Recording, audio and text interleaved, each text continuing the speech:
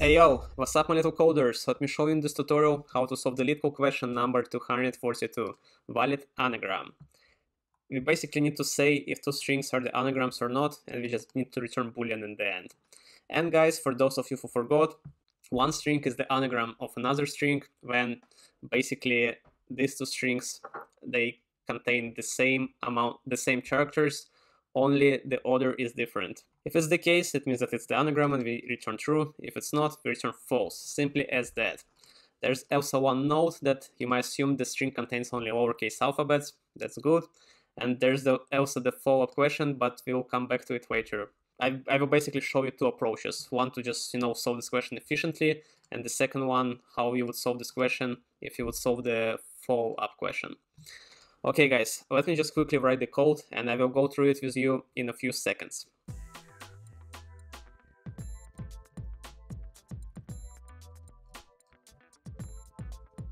Okay, okay guys, so what do we have here? Basically, first of all, we're going to check for the base case. And basically, when the two input strings, they have a different length, so they they have different amount of characters. In this case, we can definitely say that these two strings are not the anagrams, and we just can return false straight away. After that, because of this node, because we know that like all the input strings will will be made only from the lowercase uh, characters from the alphabet. We know that there are only like 26 letters in the English alphabet, so we just basically create the integer array of size 26 and we'll use this array to count how many times we see each particular character.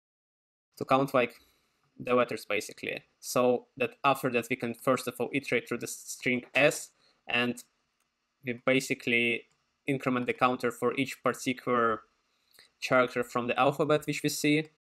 On every iteration when we see a character we do like plus one.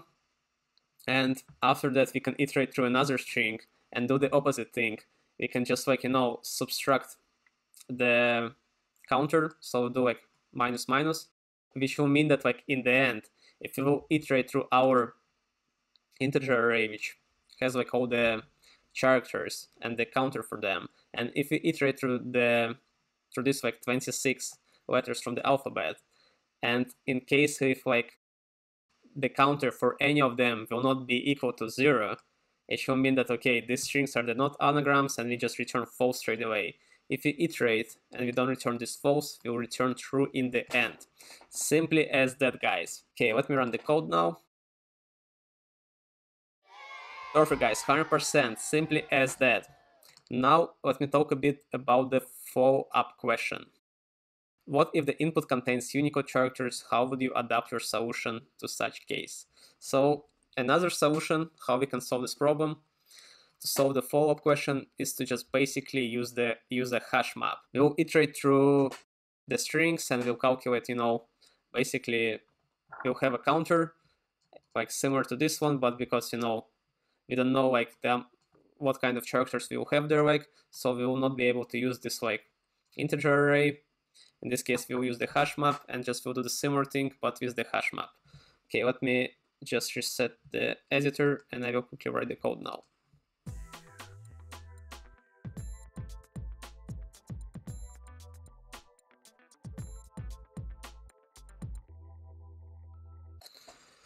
Okay, dokie guys, so what do we have here? Basically the same base case, if two lengths are not the same, we just return false because it means that it's definitely not the anagram.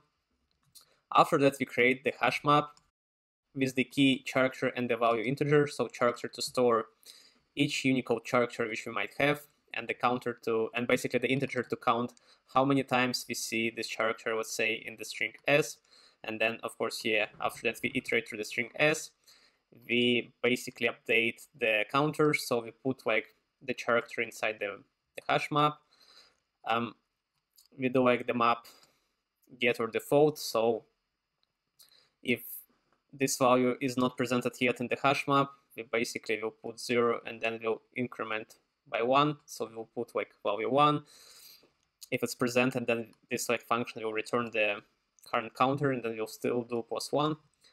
Okay, then we basically after that we'll iterate through the string t character by character.